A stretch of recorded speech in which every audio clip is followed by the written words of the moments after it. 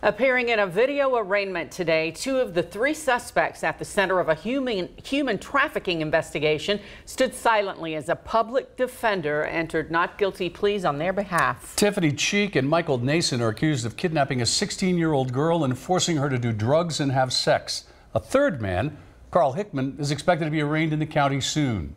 Mike Valenti has more from the Knox County Courthouse. While Tiffany Cheek and Michael Nason sit in jail, investigators are still combing through evidence in a case that spans more than 160 miles. This all started last Saturday when Tiffany Cheek apparently lured a 16-year-old acquaintance into a U-Haul. Police say Cheek was able to do so by producing fake documents claiming she was the teen's legal guardian. Once inside, the girl was allegedly forced to take drugs and have sex with Michael Nason, all while Cheek and Hickman drove the truck to Cincinnati. Acting on a missing persons report the next day, police there found the truck in a parking lot. Hickman was nabbed on drug charges, but Cheek and Nason were let go. They were later arrested once police learned that the teen didn't leave with them on her own accord.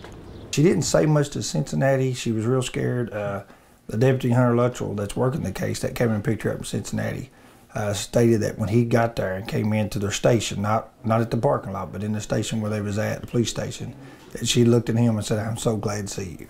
Bond has been set for Cheek Nason at $100,000 apiece. Hickman is expected to be extradited from Cincinnati soon.